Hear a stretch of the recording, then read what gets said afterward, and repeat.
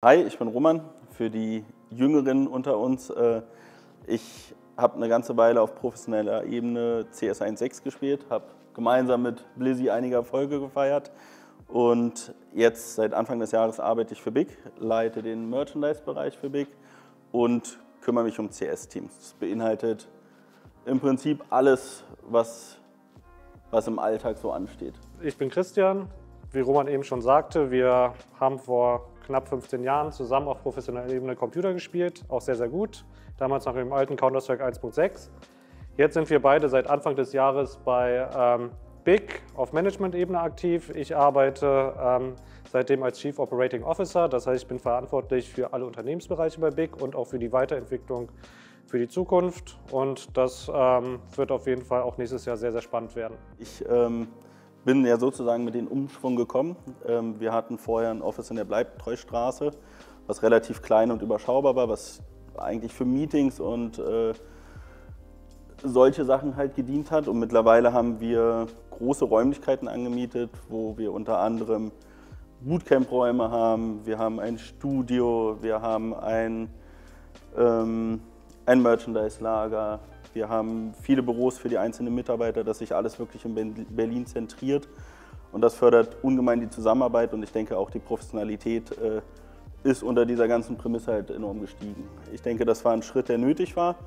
Und in dieser Zeit, in diesem Jahr, wo ich jetzt bei Big war, hat sich äh, in der Hinsicht auch unheimlich viel entwickelt. Und das, die Facility hat einen großen Teil dazu beigetragen. Im Rahmen der Facility sind wir auch personell extrem gewachsen. Wir haben eine eigene Grafikabteilung. Wir haben Leute eingestellt, die sich wirklich primär nur um die Facility kümmern, weil das bringt natürlich einige Aufgaben auch mit sich.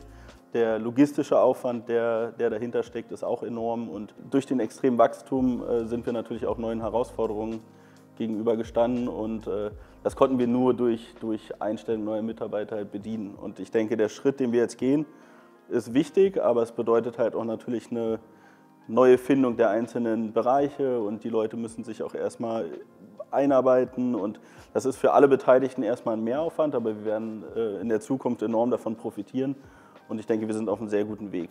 Wir haben im letzten Jahr begonnen, den, den Merchandise-Bereich in eigene Hände zu nehmen. Bedeutet, wir hatten vorher, das wussten wahrscheinlich einige auch gar nicht, hatten vorher ähm, die ganze Logistik und auch die, die Steuerung bis hin zur Produktion und bis zum Versand hin hatte die ESL das für uns übernommen und mittlerweile haben wir das in die eigene Hand genommen. Ich denke, das erste Jahr war auch sehr erfolgreich. Ähm, aber man lernt natürlich auch die Schwierigkeiten kennen. Es sind einige Prozesse gewesen, die, die wir uns anders vorgestellt haben. Das hat natürlich auch in einer Zeit angefangen, äh, die jetzt nicht ganz günstig war. Corona hat uns da immer wieder mm, die, die Tür vor der Nase zugeknallt, aber am Ende haben wir ein Ergebnis gehabt in diesem Jahr, mit dem wir zufrieden sind und bauen darauf auf. Wir haben vieles dazugelernt, wir haben viele Prozesse kennengelernt, wir haben viele Firmen kennengelernt und sind jetzt ähm, am Ende dieser Reise mit dem Ergebnis sehr zufrieden und sind auch in der Lage, jetzt ähm, große Produktionen zu verwirklichen und sind da auch gut aufgestellt. Wir, wir haben das erste Jahr so aufgebaut, dass wir wirklich klassischen Fan-Merch produziert haben. Das werden wir auch weitermachen, aber wir werden dazu eine Sparte nehmen, die auch ein bisschen den Autonomalverbraucher anspricht, ähm, sprich Alltagsmode ähm, kreieren und produzieren. Und sind auch kräftig dabei. Wir sind gerade in der Produktion. Im ersten Quartal wird euch da einiges erwarten und wollen langfristig auch ganz klar diesen Weg gehen, dass wir nicht nur klassischen Fanmerch machen, sondern auch ganz klar, ähm, ich nenne es jetzt mal Streetwear, die der Autonormalverbraucher auch im Alltag tragen kann. Ich betreue auch die Teams, insbesondere das äh, CSGO-Team. Ähm, wir profitieren natürlich auch immer von den, von den neuen Partnerschaften und von der Arbeit, die auf der Management-Ebene äh, praktiziert wird. Und ich denke, da kann der, der Christian ein bisschen mehr zu sagen. Ich denke, da gibt es zwei ganz wichtige und herausragende Punkte. Der erste Punkt ist auf jeden Fall, dass wir es geschafft haben, ähm, eines der ähm, Partnerteams zu werden bei der ESL und bei den Blast Series. Das heißt für uns, dass wir mit einer sehr, sehr großen Wahrscheinlichkeit immer bei den größten Events mit unserem Paradepferd, ähm, mit unserem Zugpferd ähm, Counter-Strike ähm, dabei sein werden. Das hat immer eine sehr, sehr große Reichweite und das ist sehr, sehr wichtig, dass wir auch bei solchen Events dabei sind. Ist auch sehr wichtig für unsere Sponsoren, für unsere anderen Partner. Das ist nämlich mein zweiter Punkt. Ähm, da haben wir es auch geschafft, dass wir in diesem Jahr sehr breit aufgestellt sind, immer neue Partnerschaften akquirieren konnten und auch langfristige ähm, Deals quasi ähm, abschließen konnten. Ich denke, das ist auch der Grundstein ähm, unseres Erfolges. Ne? Also wir haben uns das ja lange erarbeitet auf sportlicher Ebene und jetzt haben wir auf Management-Ebene das verwirklicht, dass wir wirklich diesen, diesen Step gemacht haben und äh, uns das erarbeitet haben, dass wir in die Position kamen, Partnerteam zu werden. Und ich glaube, das ist so der nächste Meilenstein. Das muss man auch ganz klar herausheben, dass wir sind äh, in, in Deutschland da, glaube ich, das einzige Team, das wirklich auch eine deutsche Basis noch hat.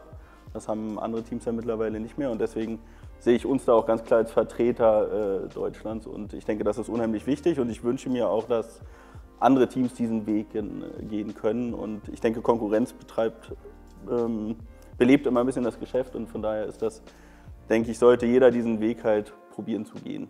Ja, also hast du schon recht, also der sportliche Erfolg ist dann natürlich auch so maßgeblich. Ich glaube, ein weiterer Punkt, der auch für unsere Partner, auch für die ISR und die Blast auch ausschlaggebend bei uns ist, was uns vielleicht auch so ein bisschen von anderen Teams irgendwie unterscheidet, ist, dass wir auch ähm, sehr, sehr coole Kampagnen fahren mit unserem Content-Team, generell auch mit dem Marketing und ich glaube, das kommt sehr, sehr gut an und dadurch schaffen wir es dann halt dann auch nochmal die sportlichen Erfolge zu untermauern mit coolen Content und lustigem Content, den wir dann auch unserer Community dann nochmal zusätzlich dann bieten können. Wir können im Prinzip alles umsetzen, was von uns verlangt wird und müssen nicht auf externe Mitarbeiter zurückgreifen. Das ist halt auch ein Step in die Richtung der, der Professionalität und wir sind da unheimlich gut aufgestellt.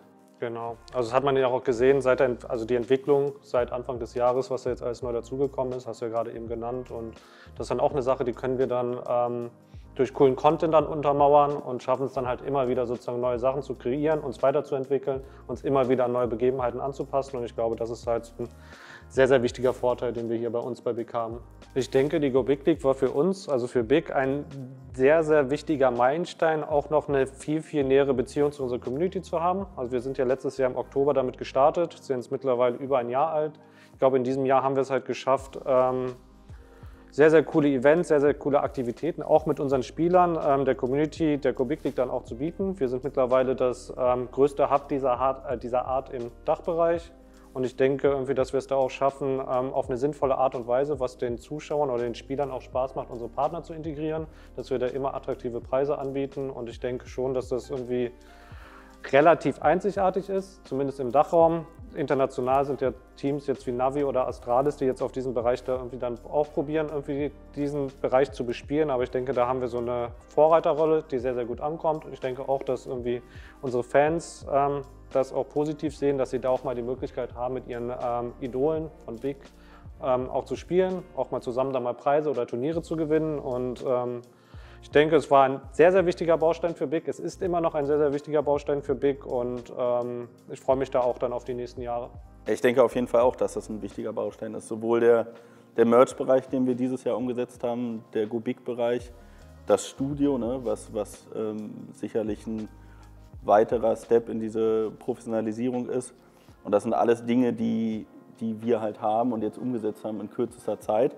Und das zeigt auch, wie rasant dieser Wachstum ist. Ne? Also ich denke, wir sind da auf einem unheimlich guten Weg, aber halt noch lange nicht am, am Ende unser, unseres Weges. Und äh, ich bin total gespannt und freue mich auf die Zukunft, wie das alles sich entwickelt. Und die Herausforderungen, die kommen, denke ich, werden wir mit unserem Team gut bewältigen. Und ich freue mich drauf. Das sehe ich genauso. Also ich glaube, wir sind in vielen Bereichen, wie du schon sagtest, noch am Anfang. Da ist noch sehr, sehr viel Potenzial. Ich meine, alle Märkte entwickeln sich auch immer weiter. Daran muss man dann immer sich orientieren, sich anpassen. Und ich glaube, dafür haben wir jetzt auch die Weichen gestellt, dass wir da in Zukunft dann auch immer probieren, sozusagen bestmögliche Ergebnisse zu liefern. Nicht nur auf spielerische Weise, sondern auch ähm, was Content und Marketing angeht. Das war es erstmal von unserer Seite. Ich denke, wir haben kleine Einblicke gegeben, was wir so in diesem Jahr als neue Mitarbeiter umgesetzt haben und äh, in, in, welche Richtung das Ganze geht bei Big. Es gibt natürlich unheimlich viele Bereiche und unheimlich viele wichtige Mitarbeiter. Wir haben das Ganze jetzt aus unserer Perspektive heraus ein bisschen euch näher gebracht. Und von unserer Seite können wir euch jetzt nur frohe Weihnachten wünschen und angenehme, ruhsame Feiertage. Und einen guten Rutsch. Und einen guten Rutsch natürlich.